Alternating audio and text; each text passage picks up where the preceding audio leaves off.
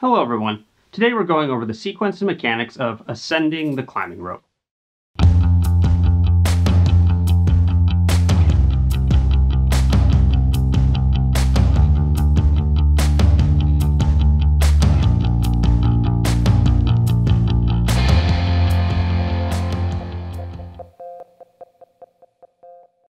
Hi there, I'm Jason. We're talking about ascending the climbing rope today. Knowing how to ascend the rope is a necessary skill for managing self-rescue should things go wrong on a technical rock climb. But the technique can be helpful in other situations as well, especially when you're climbing with kids. In our previous video, we talked about the things that we do to create a safe and enjoyable environment when we take the kids climbing. And we mentioned that one of the things that was helpful as the kids were beginning was having me hang on a fixed line next to the route. The fixed line allowed us to help coach the kids through, at first, the uncomfortableness and fear of being in a vertical environment when all of that was new to them. Let go. Your left hand's quivering because you're so nervous. And then eventually to help coach them through tricky moves as they push their abilities. In the crack and above your head.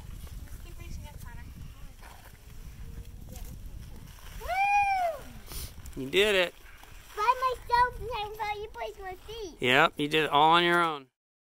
So I actually spent quite a bit of time ascending and descending the rope when the kids were just beginning their outdoor climbing. But that might feel like a nice to have skill if that's all you need it for. Well, it becomes a must have skill if an injury happens to a climber who is above the belay, whether that be a lead climber on a multi pitch route or a climber up on a single pitch top rope breaking self-rescue of a climber who's above you down into its component parts, you need to be able to escape the belay, ascend the rope, transition to descending on the rope, and know how to safely bring an injured climber down with you.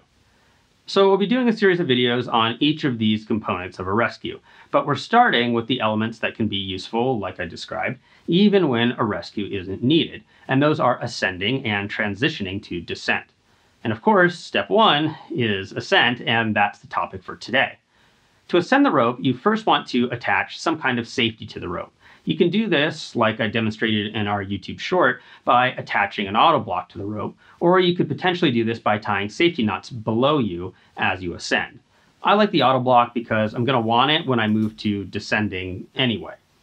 I'm going to use a hollow block by Sterling Rope, which is woven Technora fiber that is stronger than steel creates more friction when pulled because of the hollow core, and doesn't suffer from the low melting point of Dyneema, which can matter when you're going to have the rope running through a hitch.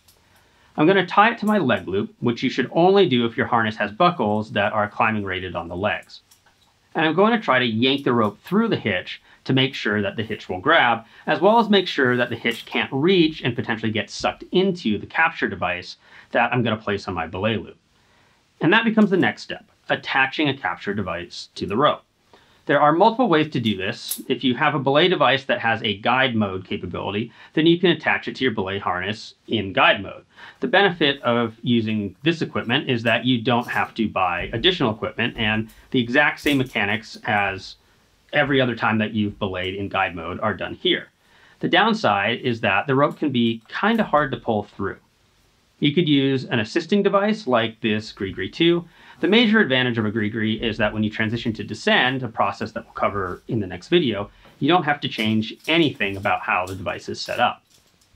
The downsides are that GriGris are kind of expensive and they're a tiny bit hard to pull the rope through on ascent, but not as hard as a basket device in guide mode. And finally, you can use a rope capture device like this Micro Traxion. The Micro Traxion is doing the job it was designed explicitly to do. So it has the advantage of being extremely easy to pull the rope through because you're doing it on an integrated pulley. The downsides are that it uses teeth to capture the rope, which can damage the sheath of your rope if you were to take a big fall on it. But frankly, that shouldn't happen if you're on ascent and you're pulling the rope through as you go. But it also has the most complicated transition to descent. Lastly, in setting up my ascent system, I need to attach a foot loop to the rope. For longer slings, like a lot of people, I carry lightweight and strong Dyneema runners. Well, because of the low melting point of Dyneema, you don't want to attach this to the rope with a friction hitch if you need to pull the rope through, which we're going to have to do. So I use a Tibloc, making sure to run the carabiner through the Tibloc and behind the rope. From here, the ascent sequence is fairly simple. Step up by using the foot loop, which also unweights the capture device that's at your belay loop. Now pull the slack through the capture device, weighting you at your waist and now unweighting your foot loop. And you repeat. You can now raise the height of the foot loop, step into it, pull the slack through your capture device, and do it again and again until you're where you need to be.